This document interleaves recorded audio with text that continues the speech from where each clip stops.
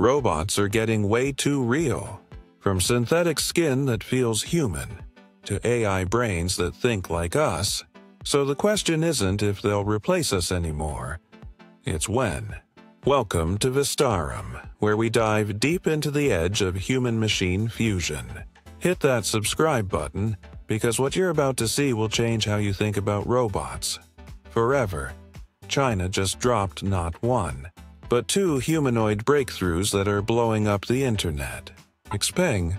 Yeah, the same company behind electric cars and flying vehicles, just revealed a shockingly lifelike humanoid robot wrapped in synthetic skin with a biomimetic spine and muscle system that literally moves like a person.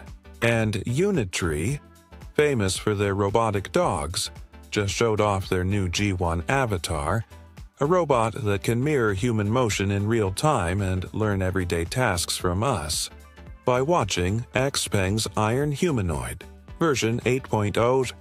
During Xpeng's AI Day in Guangzhou, the company unveiled the eighth generation of their robotics program, the third with a humanoid design.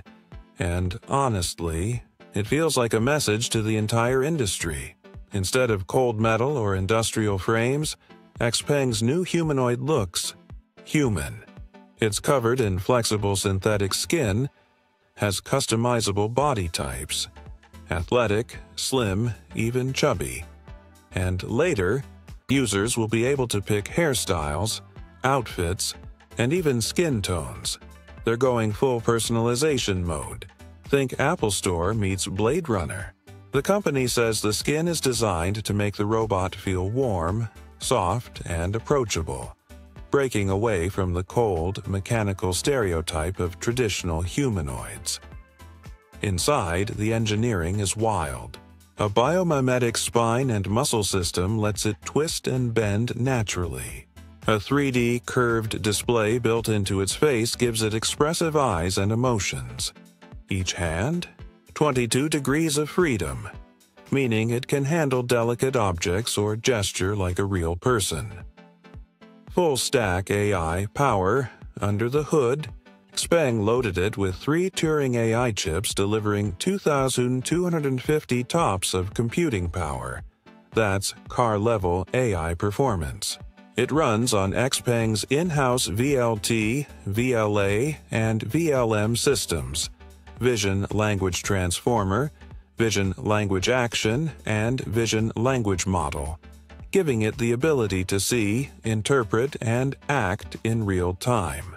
So this isn't just following pre-coded moves, it's perceiving, reasoning, and responding like a human. And unlike competitors like Figure or 1X, Xpeng's not aiming for factories. Their CEO said straight up, humanoids aren't great for repetitive labor. Instead, they want their robots in social spaces, as receptionists, tour guides, or shopping assistants. The previous generation was already giving tours at HQ in perfect American English. Now, this next version will fully replace those roles real service robots walking among us. They're even partnering with Baosteel, one of China's biggest steel producers, for inspection and field testing, proving these bots aren't just show demos battery, safety, and ethics. Here's another twist.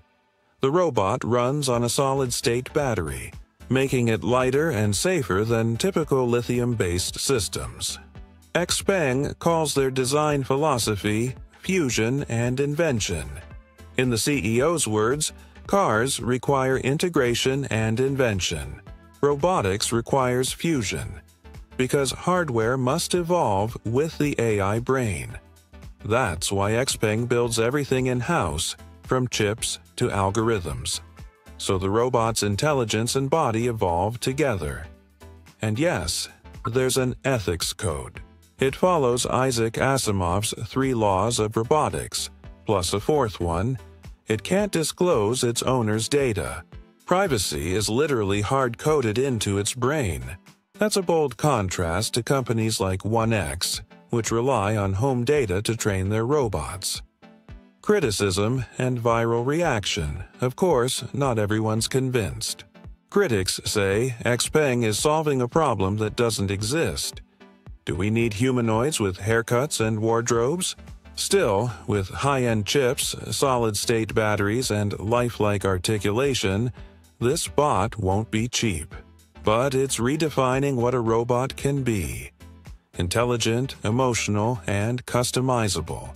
And let's be honest, that awkward dance at AI Day to Taylor Swift's The Fate of the Ophelia may have been cringy.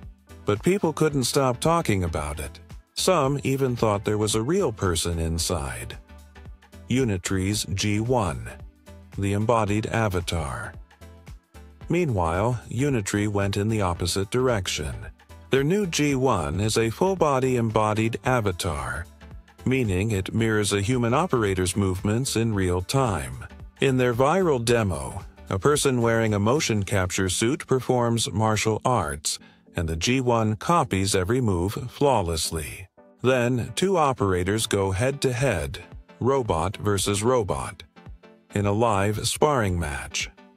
But here's where it gets insane. After training through teleoperation, the G1 starts to learn on its own.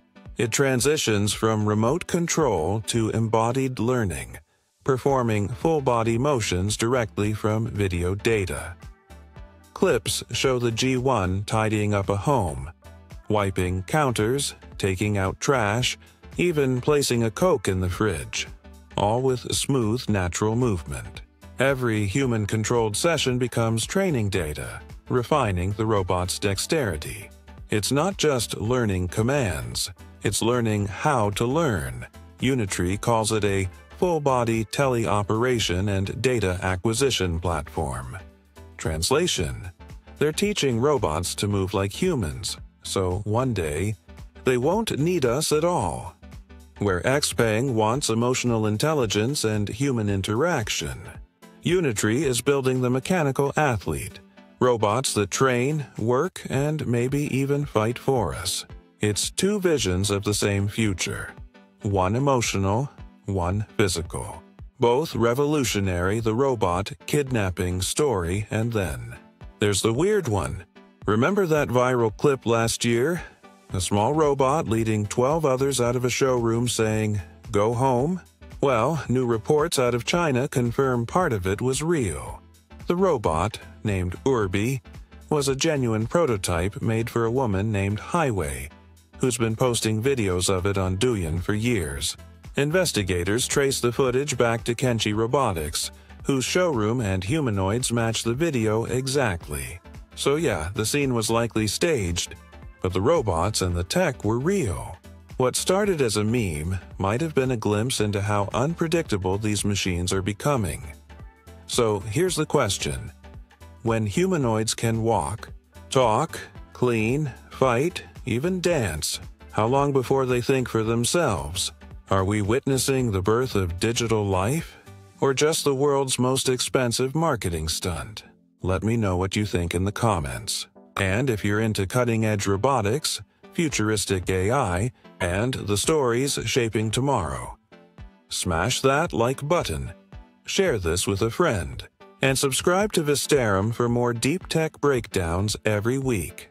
Because in this world, the future isn't coming, it's already here.